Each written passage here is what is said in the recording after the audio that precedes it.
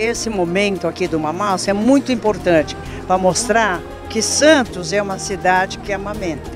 Hoje nós sabemos, através de evidências científicas, que são, forem amamentadas exclusivamente no peito por seis meses e até dois anos ou mais, são adultos é, mais realizados profissionalmente, porque são mais inteligentes e realmente felizes, porque quem tem uma performance maravilhosa é, do seu trabalho, faz o que gosta, é um adulto feliz.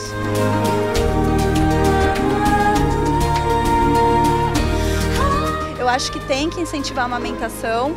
Eu sou grata por ele ter pego, não ter tido nenhum problema. Graças a Deus ele nunca teve nada, nenhum resfriado. Eu acho que é super importante isso, porque é em pró-saúde. Eu acho que é aquela criação também com apego, é gostoso ver ele mamando, ver ele no nosso peito, dormindo com a gente pertinho.